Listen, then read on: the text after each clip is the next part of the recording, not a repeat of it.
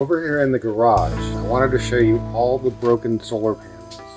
Went to Costco today. Couldn't find those nuts.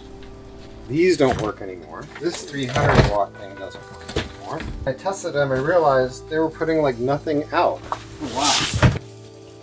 Look how shabby this one just fell apart completely. Only reason why these aren't working anymore, the ones on my roof are fine. Same kind of thin film, but I don't walk on them. Untampered with, they're bolted down, they don't move, they're solidly in place. These stopped working because I have them loose and I'm constantly moving them around and dropping them. Don't drop them, don't move them around. That's why the ones on my roof haven't been damaged.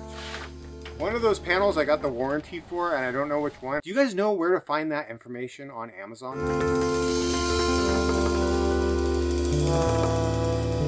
The first portable camp panels that I got were from Costco, 300 watts each. Pretty durable, except for when I wired them together into one MPPT, they ended up frying both panels.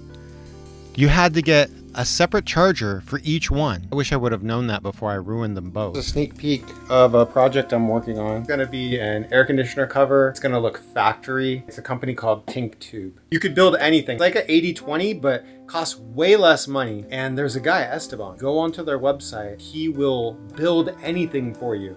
He pulled up my van. They wanted me to do a roof rack. He lines it up in the computer during the Zoom call. And your rack, when you assemble it, it'll just bolt right down into the roof where there's already bolt holes. All you need to cut it is a pipe cutter, and they have them on the website. Nice one actually for 40 bucks, not that one. All the fittings that Esteban gives you a list of what to order, wrapped and labeled. Predator generator. It's not for sale, but I never use it. That's what happens when you have more solar than you need.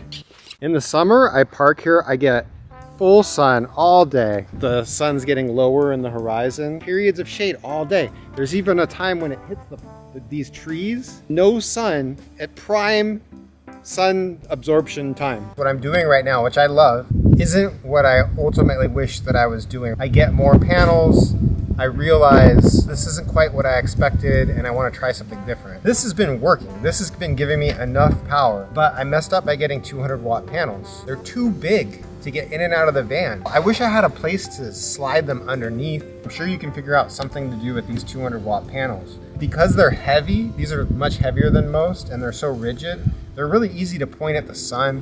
Glass panels, they work the best. You end up getting more juice. Although, now before I get up to the CIGS panels, which are the only thin film panel that I would really buy, because they're the only ones that are truly durable. I wish what I would have done 130 watt Bouge portable panels because they fold. After I got these, I realized all I need to do is get one more. Three 130 watt panels would be about the same as these two 200 watts. They'd fold up and I could put them anywhere. They're much lighter. They also have a tilting mechanism that's adjustable.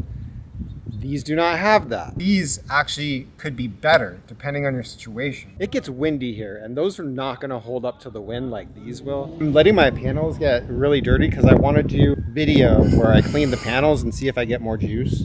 Original panels that I first put on, there was no room. I wanted the most wattage and this is the solution I came up with, hang them off the back. But I still want to support it a little better because when I'm on the freeway, I don't like the bouncing. The air conditioner that I was building the cover for at an angle so that the water drips out the back away from the bumper, but it doesn't look great. Air conditioners on the back of vans never really look great. It's maxing out. 47.4 watt amps. So the high current shut off doesn't shut off the current. It, it still charges. It just won't go above 660. I want to thank Brittany.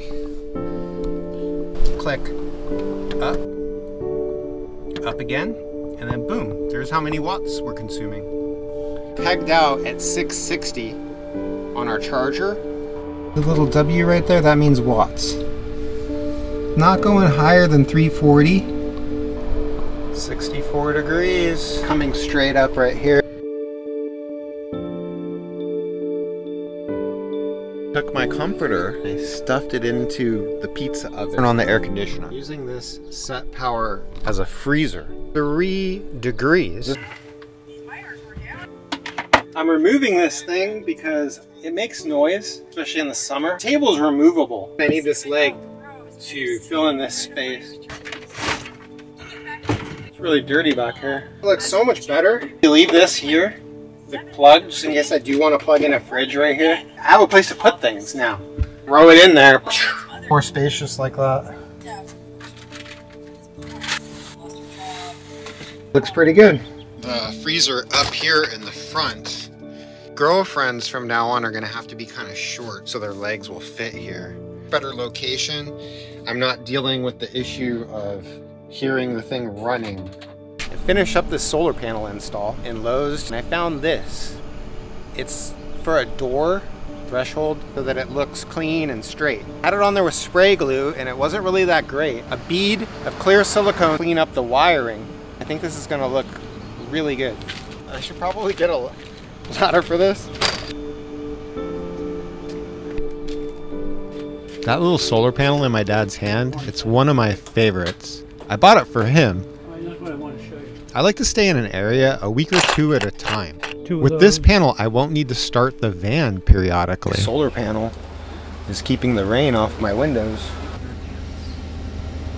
Are you lonesome tonight? It's so much quieter when it rains since I installed the uh, Bouge RV stick-on panels. They're like sound deadening on the outside.